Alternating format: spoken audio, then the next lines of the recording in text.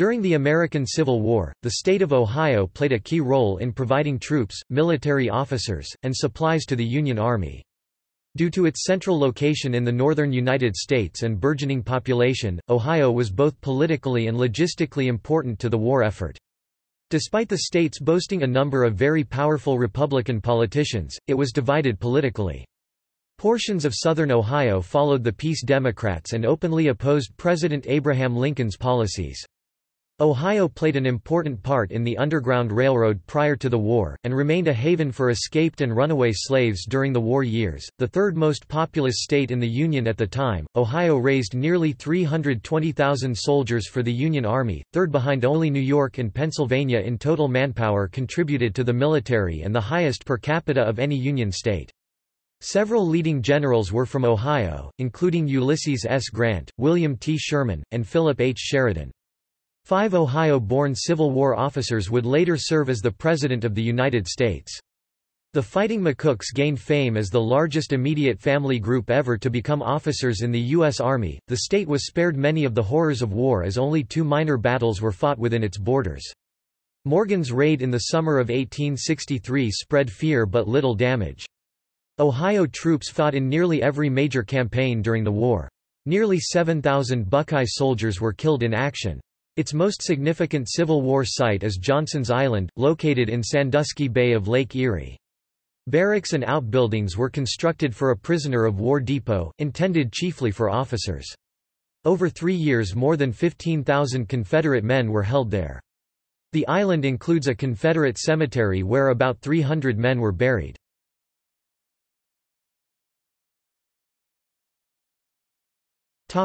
History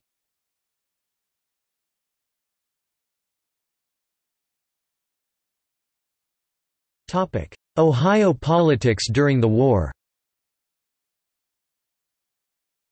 Much of southern Ohio's economy depended upon trade with the South across the Ohio River, which had served for years as passage and a link with the slave states of Virginia and Kentucky. The culture of southern Ohio was closer to those states than it was to northern parts of the state, owing to many settlers coming from the south and being formerly territory of the state of Virginia as part of the Virginia Military District. Most of the state's population was solidly against secession. During the 1860 presidential election, Ohio voted in favor of Abraham Lincoln 231,709 votes or 52.3% of the ballots cast over Stephen Douglas 187,421, 42.3%, John C. Breckinridge 11,406, 2.6%, and John Bell 12,194, 2.8%. A number of men with Ohio ties would serve important roles in Lincoln's cabinet and administration, including Steubenville's Edwin M. Stanton as Attorney General and then Secretary of War, and former Ohio U.S. Senator and Governor Salmon P. Chase as Secretary of the Treasury. Prominent Ohio politicians in Congress included Senators John Sherman and Benjamin F. Wade. During the war, three men would serve as Governor of Ohio William Dennison, David Todd, and John Brough. Without being asked by the War Department, Dennison sent Ohio troops into western Virginia, where they guarded the Wheeling Convention. The convention led to the admission of West Virginia as a free state. Todd became known as the soldier's friend for his determined efforts to help equip and sustain Ohio's troops. He was noted for his quick response in calling out the state militia to battle Confederate raiders. Brough strongly supported the Lincoln administration's war efforts and was key to persuading other Midwestern governors to raise 100-day regiments, such as the 131st Ohio Infantry in early 1864, to release more seasoned troops for duty in Gen. Ulysses S. Grant's spring campaign.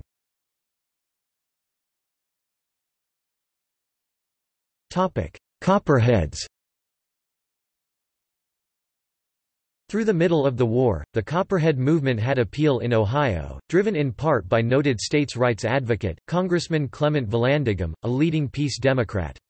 After General Ambrose E. Burnside issued General Order No. 38 in early 1863, warning that the habit of declaring sympathies for the enemy would not be tolerated in the military district of Ohio. Vallandigham gave a major speech charging the war was being fought not to save the Union, but to free blacks and enslave whites. Burnside ordered his arrest and took Vallandigham to Cincinnati for trial. At the trial, Vallandigham was found guilty. The court sentenced him to prison for the duration of the war. President Lincoln attempted to quiet the situation by writing the Birchard Letter, which offered to release Vallandigham if several Ohio congressmen agreed to support certain policies of the administration. To try to prevent political backlash and preserve authority of Gen. Burnside, Abraham Lincoln changed Vallandigham's sentence to banishment to the South. The threat was imprisonment if Vallandigham returned to northern soil. The South allowed Vallandigham to migrate to Canada, from where he ran an unsuccessful campaign for governor against Brough in 1863. Vallandigham's campaign bitterly divided much of Ohio. Vallandigham's votes were especially heavy in central and northwestern Ohio. He lost his home county of Montgomery Dayton, but by a narrow margin.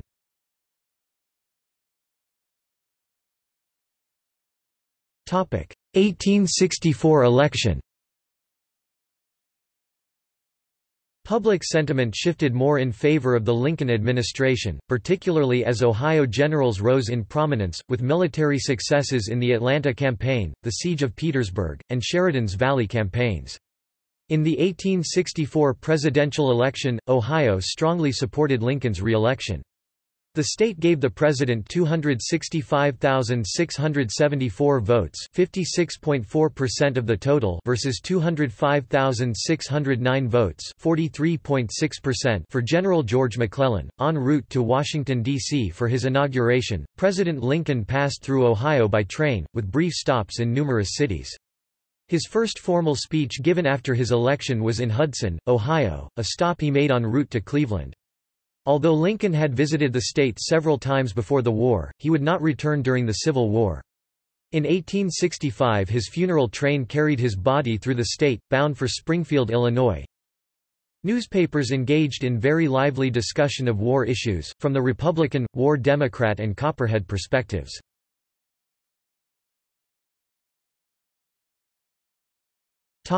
Military recruitment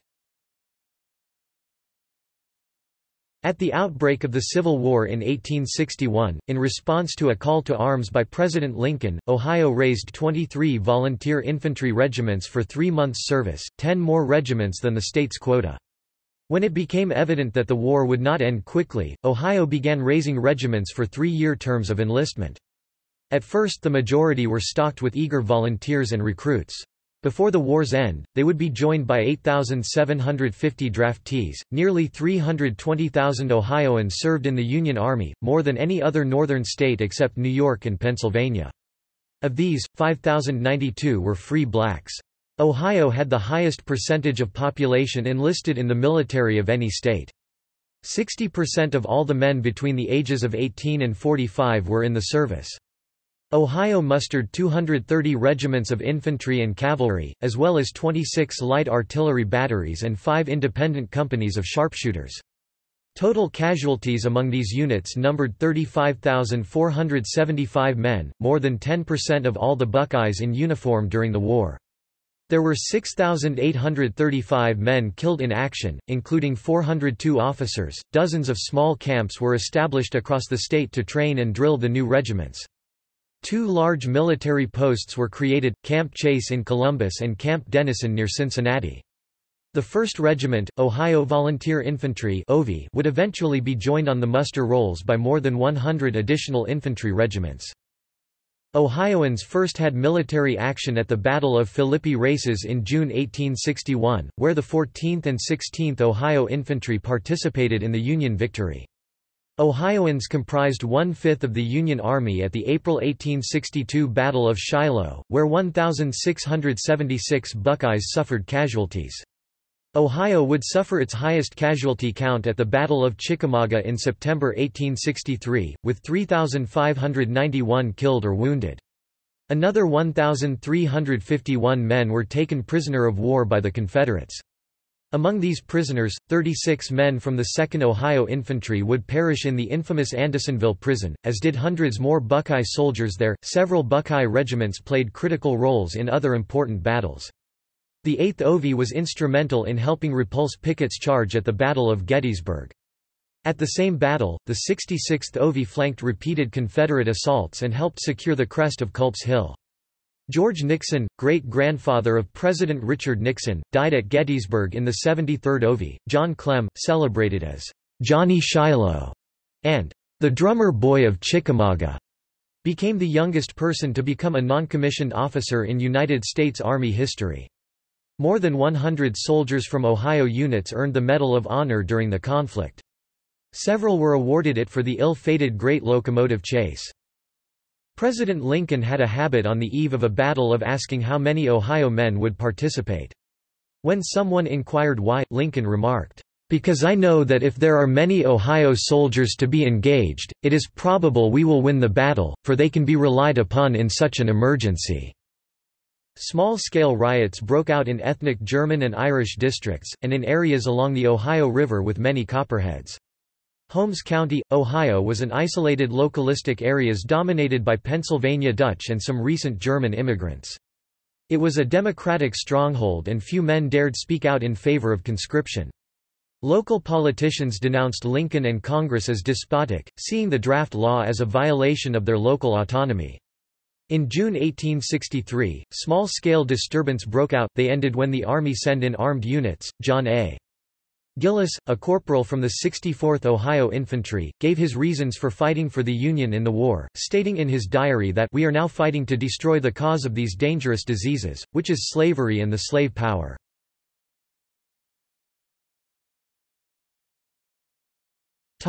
Military actions in Ohio Unlike its neighbors West Virginia, Kentucky, and Pennsylvania, Ohio was spared from serious military encounters. In September 1862, Confederate forces under Brig. General Henry Heth marched through northern Kentucky and threatened Cincinnati see Defense of Cincinnati. They turned away after encountering strong Union fortifications south of the Ohio River. Not long afterwards, Brig. General Albert G. Jenkins briefly passed through the extreme southern tip of Ohio during a raid. It was not until the summer of 1863 that Confederates arrived in force, when John Hunt Morgan's cavalry division traversed southern and eastern Ohio during Morgan's raid. His activities culminated in Morgan's capture in Columbiana County. The Battle of Buffington Island was the largest fought in Ohio during the Civil War.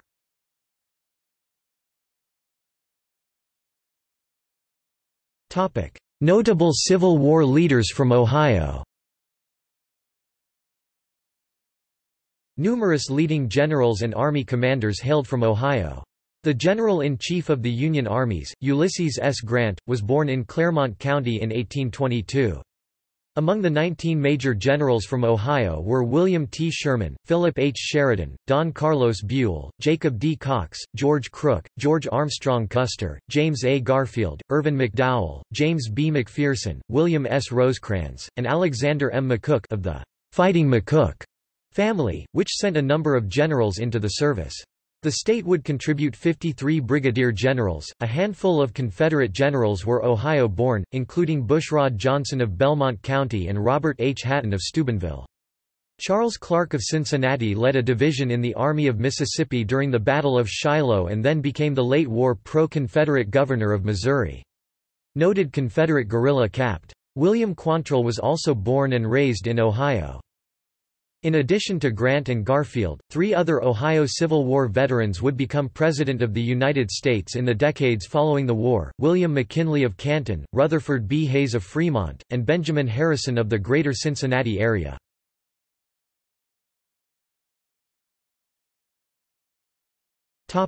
Civil War sites in Ohio The only battlefield of significance in Ohio is Buffington Island. Today it is threatened by development. This was the site of the largest fight of the July 1863 dash across Ohio by Confederate cavalry under John Hunt Morgan. The incursion was immortalized as Morgan's Raid. A lesser engagement was the Battle of Salineville, which resulted in the capture of General Morgan. He and a number of his officers were incarcerated in the Ohio Penitentiary before escaping. Extreme south-central Ohio had previously been briefly invaded in early September 1862 by cavalry under Albert G. Jenkins. Two important cemeteries for the dead from the Confederate States Army can be found in the Buckeye State. One is at the prisoner of war camp on Johnson's Island, the most significant Civil War site in the state and intended mostly for officers. Estimates are that 10,000 to 15,000 Confederate officers and soldiers were incarcerated during the camp's three years of operations, with 2500-3000 at any one time. About 300 Confederates died and were buried there. A museum about Johnson's Island is located in Marblehead on the mainland. The Civil War buildings were dismantled shortly after the war. Archaeological work by Heidelberg University has revealed the boundaries of the camp and new materials. At one time part of the island was used for a pleasure resort. Another cemetery is located at Camp Chase, where more than 2,000 Southerners were interred. Union Cemetery in Steubenville, Ohio, is the final resting place of Civil War soldiers, including several generals and colonels, including several of the Fighting McCooks Monuments in Cincinnati and Mansfield commemorate the hundreds of Ohio soldiers who had been liberated from Southern prison camps, such as Cahaba and Andersonville, but perished in the Sultana steamboat tragedy. In the aftermath of war, women's groups were instrumental in raising money and organizing activities to create the memorials. Many Ohio counties have Civil War monuments, statues, cannons, and similar memorials of their contributions to the Civil War effort. These are frequently located near the county courthouses. The Ohio State Capitol has a display of Civil War guns on its grounds. In downtown Cleveland's public square is the impressive Soldiers and Sailors Monument. Other large monuments are in Dayton, Hamilton, and Columbus. A large equestrian statue of General Sheridan is in the center of Somerset. New Rumley has a memorial to George Armstrong Custer. A number of Ohio historical markers throughout the state commemorate places and people associated with the Civil War. Some of the homes of noted Civil War officers and political leaders have been restored and are open to the public as museums. Among these are the Daniel McCook House in Carrollton, Ohio. The Rutherford B. Hayes Presidential Center and Library in Fremont contains a number of Civil War relics and artifacts associated with General Hayes. Similarly, Lawnfield the home of James A. Garfield in Mentor, has a collection of Civil War items associated with the assassinated president. The Ohio Historical Society maintains many of the archives of the war, including artifacts and many battle flags of individual regiments and artillery batteries. More relics can be found in the Western Reserve Historical Society's museum in Cleveland.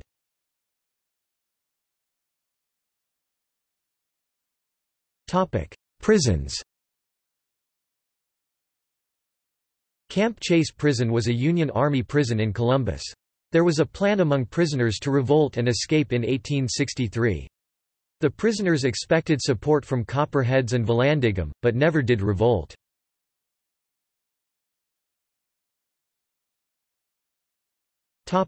See also List of Ohio Civil War units List of Ohio's American Civil War generals Cincinnati in the Civil War Cleveland in the Civil War Johnson's Island Uriah Brown, U.S. Medal of Honor winner Ephraim C. Dawes, Major in the 53rd Ohio Volunteer Infantry